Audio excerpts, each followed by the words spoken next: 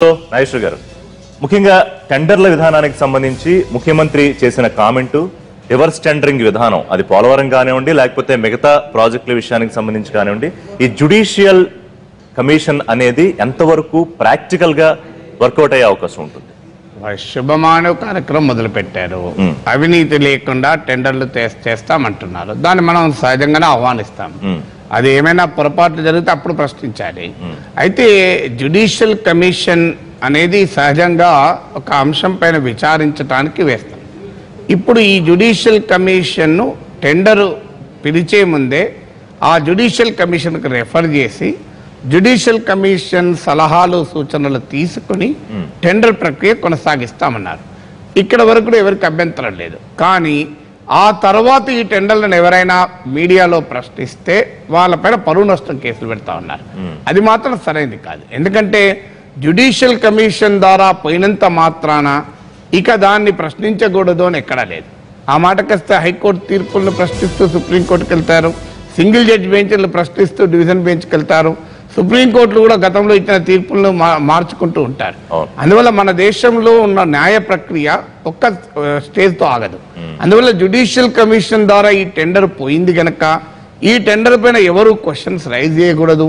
Rise చేస్తే అది పరువు నష్టం దావా వేస్తానడం అనేది ఇంటిమిడేషన్ మంచిది కాదు. అది ప్రభుత్వానికి కూడా మంచిది కాదు. ఏమవుతుందంటే రేపు నిజంగా ఏమైనా లోపాలున్నా బయటికి రావు. ఎస్ మీరు జ్యుడిషియల్ కమిషన్ ద్వారా లోపరహితంగా టెండర్లు వేసే ప్రయత్నం చేస్తున్నారు దాన్ని ఆహ్వానించుదాం. కానీ అయినా కూడా లోపాలు ఉండటానికి అవకాశం ఉంది. ఎందుకంటే మన దేశంలో తెలివితేటలు చాలా ఎక్కువ. ఒక ఏర్పాటు చేస్తే దానికి ఒక విరుగుడు ఏర్పాటు కూడా ఉంటుంది. మన దగ్గర ఆ పకడ్బందీగా ఉంటుంది. ఈ రివర్స్ టెండరింగ్ చాలా ఎక్కువ మన దగ్గర ఈ విషయంలో. సో ఈ రివర్స్ టెండరింగ్ చేసి దానికి తగ్గట్టు రూపోల్స్ వెతుక్కొని రెడీ ఉంటారు. అక్రమ అక్రమార్కులు. అందువల్ల ప్రభుత్వము పారదర్శకంగా ఉంటూ ప్రభుత్వము విమర్శల్ని ఆహ్వానిస్తూ ఉంటేనే ఆ ప్రభుత్వం బాగుంటుంది. లేదు మీరు దాచారనుకోండి ఏమవుతుంది అది ప్రజల తీర్పు ఇప్పుడు ఇవాళ వచ్చింది కదా తీర్పు అలాగే వస్తుంది. దాస్తే అవుతుందా. అందువల్ల అది ఇది ఒకటి రెండవది గత ప్రభుత్వ హయాంలో జరిగినటువంటి అవినీతి. సో గత ప్రభుత్వంలో అన్ని బాగుంటే వాళ్ళకు ఇరవై మూడు సీట్లు ఎందుకు వస్తాయి? అందువల్ల అనుమానమే లేదు. ఇసుక మాఫియా రాజ్యం ఏలింది ఇరిగేషన్ టెండర్లలో ఆ రాష్ట్రంలోనే కాదు అన్ని రాష్ట్రాల్లో భారీగా కాస్ట్ ఎస్కలేషన్ ఉంటుంది. ఇదంతా మనకు సహజం. కానీ ఈ అవినీతి అనేది రెండు రాజకీయ పార్టీల మధ్య స్లగ్ ఫెస్ట్గా ఉండకూడదు. మనం గతం చూసాం జగన్మోహన్ రెడ్డి లక్ష కోట్లు తిన్నారని తెలుగుదేశం వాళ్ళు అసలు చెప్పని ప్లేస్ లేదు. మరి నాలుగేళ్ళు కేంద్రంతో కలిసి ఉన్నారు ఒక్క ఏడాది విడిగా ఉన్నారు. ఈ ఐదేళ్ళలో లక్ష రూపాయల అవినీతి అయినా బయటికి తీసి ప్రజలకు ఇచ్చారా ఇవ్వలే కదా. జగన్మోహన్ రెడ్డి పైన అదనంగా ఒక కొత్త కేసు అయిందా? కాలే కదా. అంతకుముందు ఏమన్నారు? మంత్రులు ఇప్పుడు దేవినేని ఉమా వీళ్ళందరూ లక్ష కోట్లు రప్పిస్తాం మేము బయటికి పెడతాం ప్రజలకు పంచుతాం అన్నారు అవును. పది రూపాయలు పంచలేదు. ఇప్పుడు కూడా రేపు టీడీపీ పైన అవినీతి ఆరోపణలు చేస్తున్నారు. ఇప్పుడు సర్వశిక్ష అభియాన్లో అవినీతి పోలవరం టెండర్లో అవినీతి ఇలా రకరకాల అవినీతులు వస్తున్నాయి.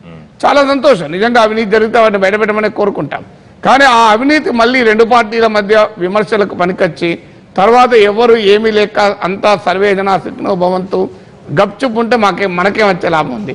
అందువల్ల ప్రభుత్వం దీన్ని ఒక రాజకీయ అంశంగా మారకుండా ఎందుకంటే వైసీపీ అధికారంలోకి వచ్చింది కనుక టీడీపీని టార్గెట్ చేస్తున్న దానికన్నా నా సలహా ఏంటంటే దీనిపైన ఒక ఆంబర్స్ మ్యాన్ అంటే ఈ అవినీతి ఇప్పుడు లోక్ ఆయుక్త లాంటి వ్యవస్థలు ఉన్నాయి. వాటిని బలోపేతం చేయండి లేదు మీరు ఒక ఇండిపెండెంట్ ఆంబర్స్ మ్యాన్ అంటే గత ప్రభుత్వ విధానాలన్నింటినీ మీరు సమీక్షించదలుచుకున్నారనుకోండి టెండర్లే కావచ్చు ఇంకేదన్నా కానీ కాంట్రాక్ట్లే కావచ్చు. దానికి మీరు ఒక నలుగురితోనో ఐదుగురితోనో ఒక స్టాట్యుటరీ కమిషన్ వేయండి. ఒక స్టాట్యుటరీ అంబర్స్మాన్ వ్యవస్థను తీసుకురండి. ఇప్పుడు ఎన్ఆర్జీజీఏలో మీకు అంబర్స్మాన్ వ్యవస్థ ఉంది.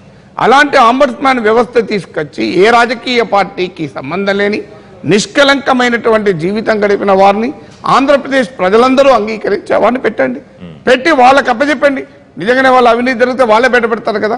కానీ ఇప్పుడు ఈ- అది పొలిటికల్ అయ్యే వరకు ఏమవుతుందంటే అవినీతి పనులు తప్పించుకోవడానికి అవకాశం ఉంటుంది ఇది ఏమున్నాయి? మా పార్టీని టార్గెట్ చేస్తున్నారు.